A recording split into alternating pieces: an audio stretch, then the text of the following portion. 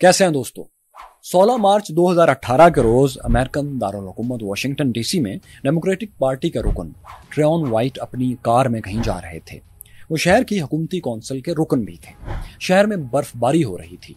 Train white ने फ़ौरन इस बर्फबारी की वीडियो बनाई। उन्होंने कहा कि आज सुबह अचानक बर्फबारी शुरू हो गई है। आप लोगों को चाहिए कि इस क्लाइमेट कंट्रोल इस क्लाइमेट मैनुपुलेशन पर तवज्जो दें। ये सब कुछ दरअसल रॉथ चाइल्ड के इस मॉडल पर हो रहा है कि मौसम को कंट्रोल किया जाए, कुदरती आफात लाई जाए और फिर इन शहरों का मालिक बन जाया जाए। एहतियात करें सब दोस्तों, ये उन्होंने लिखा। ट्रेन वाइट ने यह वीडियो अपने फेसबुक पेज पर लगा दी। ये वीडियो देखते ही देखते वायरल हो गई।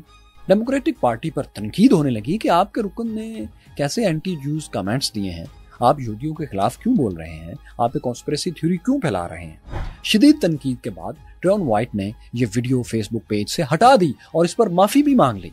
उन्होंने कहा, मुझे नहीं मालूम था कि मेरे कमेंट्स को एंटी सेमेटिक समझा जाएगा एंटी यहूदी समझा जाएगा। उन्होंने यहूदियों से इजहार यकजहती के लिए कुछ मुकामी यहूदी लीडर से मुलाकातें भी की और एक यहूदी यादगार का दौरा भी किया। यूँ बात वक्ती तौर पर आई गई हो गई। अब दोस्तों, मिस्टर वाइट ने रॉस चाइल्ड के मुतालिक अपने बयान पर बाज़ार तो माजरत कर ली थी, लेकिन उनका जहन उसी बात पर अटका हुआ था। वो ऐसे कि 2018 में ही उन्होंने यहूदियों के खिलाफ एक और ऐसी ही कॉन्स्पिरसी थ्योरी की फिर हमायत कर दी। ये कॉन्स्पिरसी उनकी मुखालिफ जमात रिपब्लिकन पार्टी की रोकन मार्जरी टेलर ग्रीन ने फैलाई थी। उन्होंने 2018 में ही फेसबुक पर एक तवील पोस्ट लिखी, जिसका लुबेल बाब यह था कि रॉस चाइल्ड ने स्पेस से एक खतरनाक लेजर बीम फेंकी है, जिसकी वजह से कैलिफ़ोर्निया के जंगलात में आग भड़क उठी है। ये लेजर बीम, उनके मुताबिक, कई लोगों ने गिरते हुए देखी भी थी। इस थ्योरी को, जिसे वो अपनी साइंटिफिक रिसर्च कह रही थी, इसमें उन्होंने ये दावा किया कि आग सिर्फ़ जंगल के उस हिस्से में रॉस चाइल्ड ने लगाई है, जहाँ एक रेल प्रोजेक्ट इन्होंने बनाना है। मतलब ये कि रॉस चाइल्ड ने इस जंगल में आग लगाकर यहाँ की ज़मीन की कीमत कम कर दी है ताकि वो आसानी से इसे खरीद लें और सस्ते में अपना प्रोजेक्ट लगा सकें माली फ़ायदे के लिए। ट्रोन वाइट ने इस थ्योरी की हमायत दोस्तों कर दी। लेकिन मतलब उन्होंने लाइक किया है, इसे रीपोस्ट किया। लेकिन ये थ्योरी दोस्तों इतनी मुजाहका खेज थी कि इसे जूश लेजर थ्योरी के टाइटल से खूब शोहरत मिली, तंजिया शोहरत। लोग हंस रहे थे कि रेल प्रोजेक्ट के लिए ज़मीन लेने के इससे कहीं ज़्यादा आसान तरीके थे। खला में जाकर लेजर से आग लगाना एक बहुत महँगा सौदा किया रॉस चाइल्ड ने। इस मैड थ्योरी पर दोस्तों कई कार्टून्स बने, किताबें और आर्टिकल्स भी लिखे गए। मार्जरी ग्रीन की इस थ्योरी पर दोस्तों अमेरिकी अखबार द न्यूयॉर्कर ने भी एक गहरा तंज किया। उन्होंने लिखा कि अब मार्जरी ये भी दावा करेंगी कि हर क्रिसमस पर आने वाले सांता क्लास को कत्ल करने के लिए भी एक स्पेस लेजर तैयार कर ली गई है। ज़ाहिर है, ये तंज था मार्जरी ने ऐसा कहा नहीं था। ये उनका ठट्ठा उड़ाया जा रहा था। लेकिन दोस्तों, ये तो खैर एक स्टायर था। लेकिन आपको बताएँ कि मौसम को तब्दील करने कंट्रोल करने की थ्योरीज आपने पाकिस्तान, इंडिया में बहुत सुनी होंगी।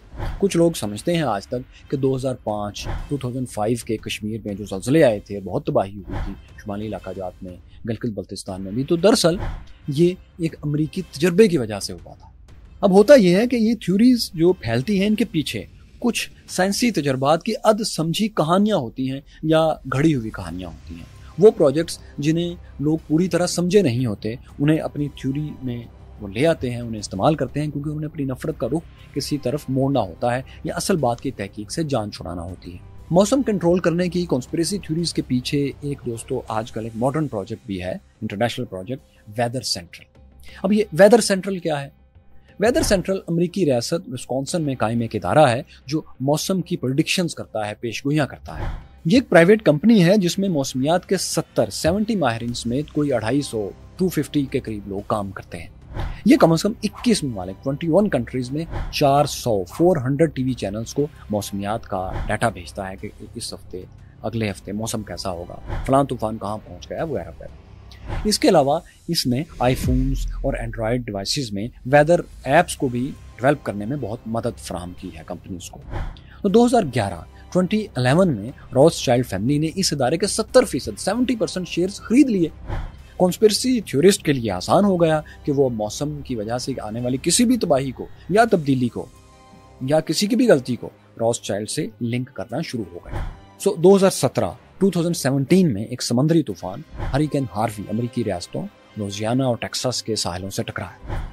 साहली इलाकों से ज़्यादातर अफराद को पहले ही निकाल लिया गया था, इसलिए हलाकतों की तादाद कम रही। तकरीबन 68 के करीब लोग यहाँ मारे गए।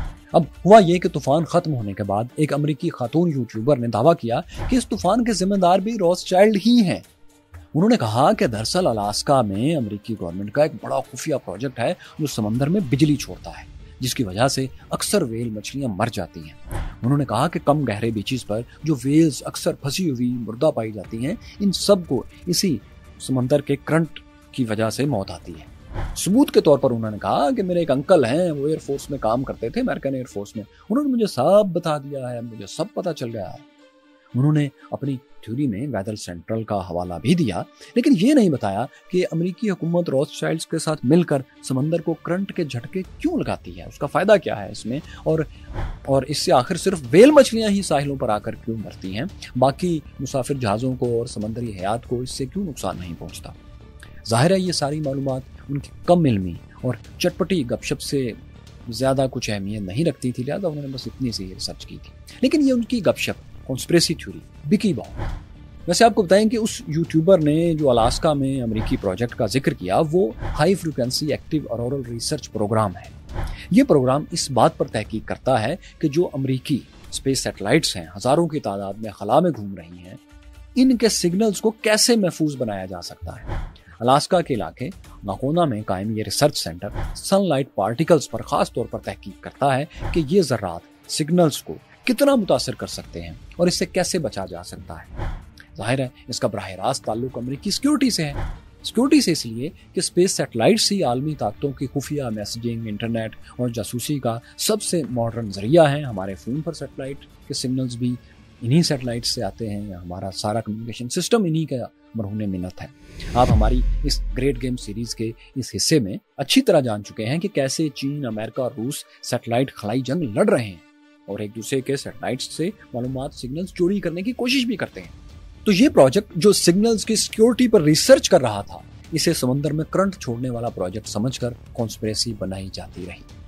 आप जानते हैं कि रिसर्च एक मुश्किल काम होता है और पहले से मशहूर और चटपटी बातों से एक आध समझी अध समझी साइंटिफिक चीज़ को मिलाकर जब बताया जाए तो अच्छी खासी गौसिप बन जाती है। फिर इस मामले को किसी तरह किसी पहले से मशहूर कॉन्स्परेसी के साथ लिंक कर दिया जाए तो एक सीरीज़ कहानियों की ये कॉन्स्परेसी की सीरीज़ बन जाती है। और आपको लगता है कि इस बात की तो हिस्ट्री भी है। तो ये कॉन्स्परेसी थ्योरिस्ट इस तरह से काम करते हैं और गॉसिप बिकती है तो लिहाजा ये उसे बेचते हैं।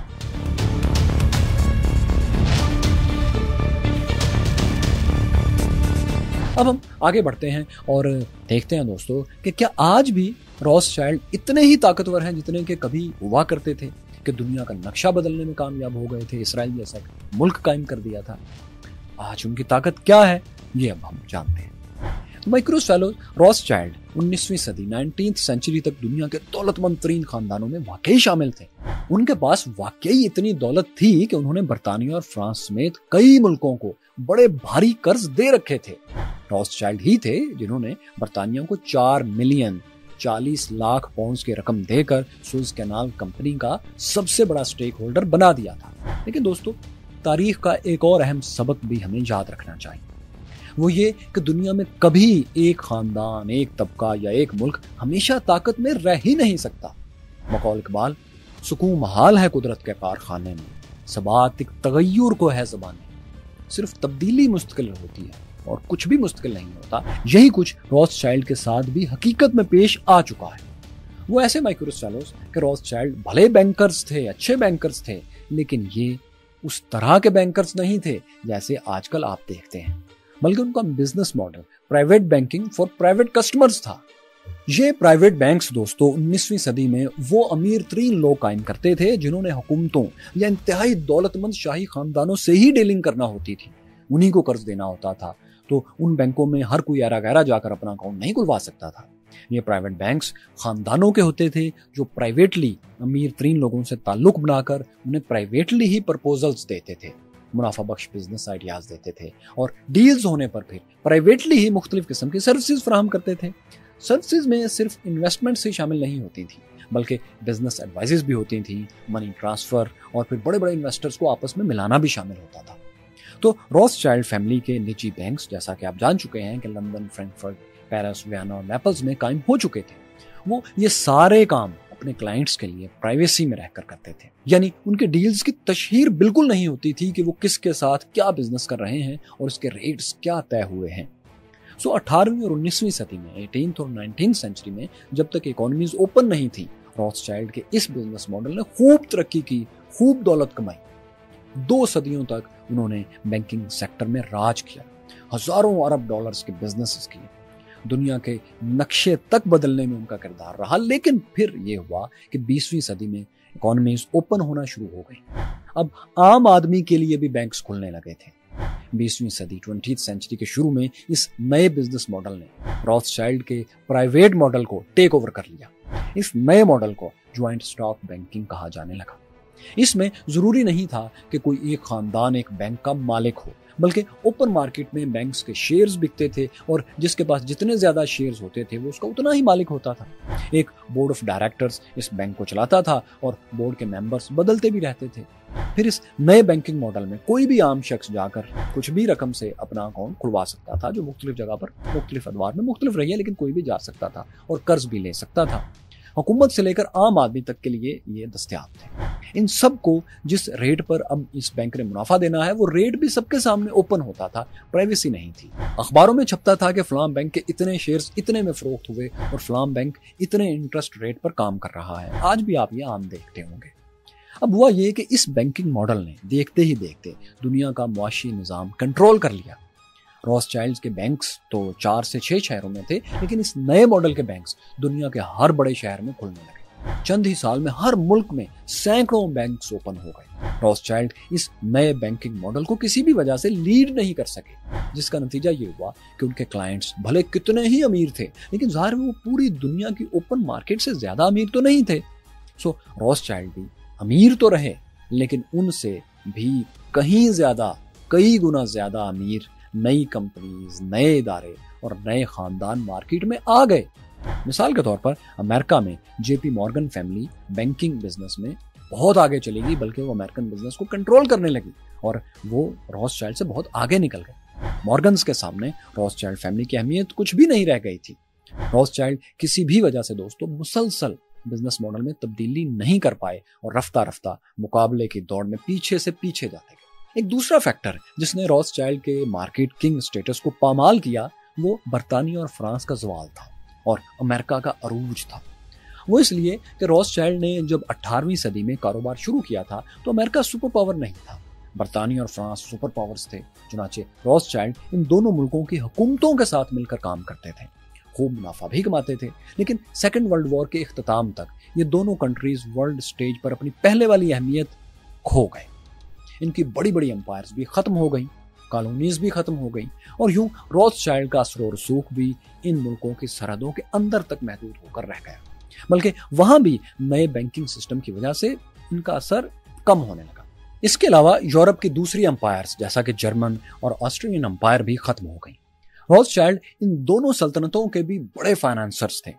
तो इन सल्तनतों के खात्मे भी रॉस चाइल्ड की बिज़नेस अंपायर को काफ़ी छोटा कर तीसरी वजह दोस्तों इनके सवाल की ये थी कि इन्होंने 18वीं और 19वीं सदी में अमेरिका के उभरते हुए आलमी स्टेटस को बिल्कुल भी प्रिडिक्ट नहीं किया। वो यूरोप में बैठकर अमेरिका में बिज़नेस तो करते रहे, लेकिन लंदन या वहना की तरह उन्होंने न्यूयॉर्क या वाशिंगटन या दूसरी अमेरिकी स्टेट्स में कोई बड़ी खानदानी ब्रांच कायम ही नहीं की। उनकी गैर मौजूदगी में अमेरिका में John D Rockefeller Andrew Carnegie, JP Morgan और हेनरी फोर्ड जैसे बड़े बड़े बिज़नेस टाइकॉन्स ने जन्म लिया और पूरी मार्केट को कैप्चर कर लिया। अमेरिका इतनी बड़ी मार्केट बन गया कि फ़र्स्ट और सेकेंड वर्ल्ड वॉर में बरतानिया को रॉथस्चाइल्ड से ज़्यादा कर्ज अमेरिका की तरफ़ से मिला था। लेकिन उस वक्त भी रॉथस्चाइल्ड अपना मॉडल तब्दील नहीं कर पाए। तो माई क्यूरियस फेलोज ये और ऐसी दीगर बहुत सी वजूहत ही का असर है कि आज रॉथस्चाइल्ड की पाँच यूरोपीय ब्रांचेज में से तीन व्याना फ्रैंकफर्ट और नेपल्स बंद हो चुकी हैं। क्योंकि यूरोप में मुख्तलिफ़ इनकलाबात के नतीजे में नेपल्स और फ्रैंकफर्ट जो कि शहरी रियासतें थीं, इनकी आज़ाद हैसियत खत्म हो गई। नेपल्स इटली का और फ्रैंकफर्ट जर्मनी का हिस्सा बन चुका है। अब इन मुल्कों के हुक्मरानों के लिए मुमकिन ही नहीं कि वो किसी खानदानी बिज़नेस से कोई प्राइवेट डील्स कर सकें। बतौर हुकूमत, उन्हें बैंकों से ओपन डील्स करना होती हैं, जो कि आज भी रॉस चाइल्ड नहीं करते।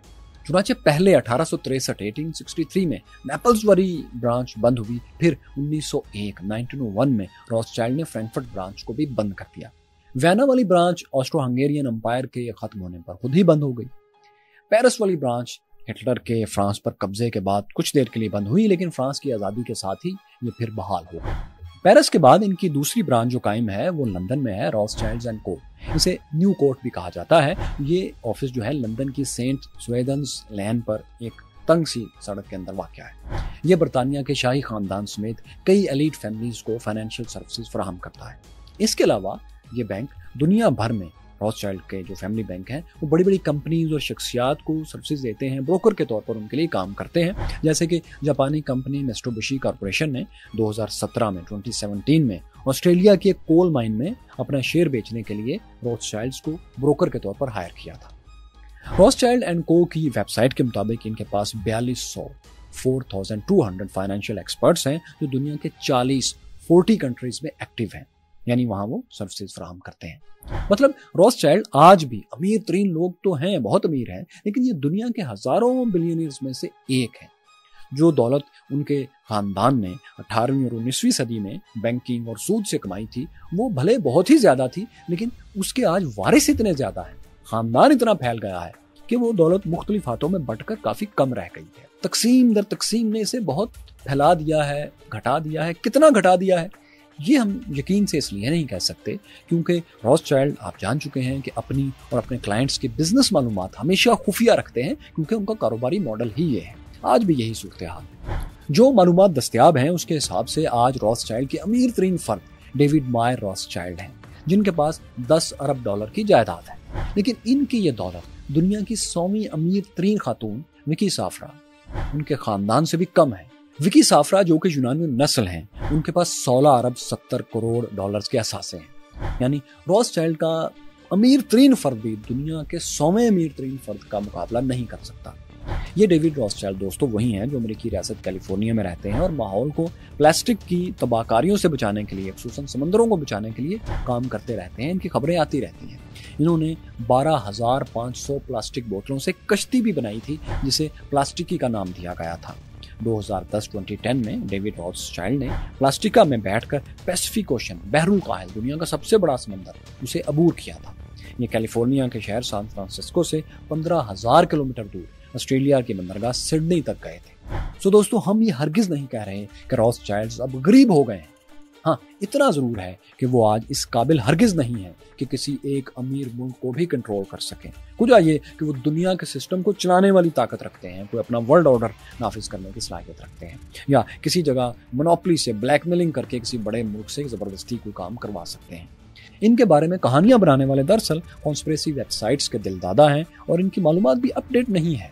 आज दुनिया में किसकी मोनोपली है? आज दुनिया को कौन रन कर रहा है? कौन से इदारे कौन सी खुफिया एजेंसीज और कौन से मुल्क दुनिया में कौन सी तब्दीली का बायस बन रहे हैं? ये सारी कहानी हम आपको तफसील से इस ग्रेट गेम में दिखा चुके हैं। ज़रूर देखिए। यहाँ देखिए कि रॉथ ने दो सदियों तक कैसे दुनिया पर एक हुकूमत सी कायम करके रखी और साजिशी थ्यूरीज को डीबंक कैसे किया जाता है, इस पर हमारा ये साइंटिफिक लोग ज़रूर देखिए।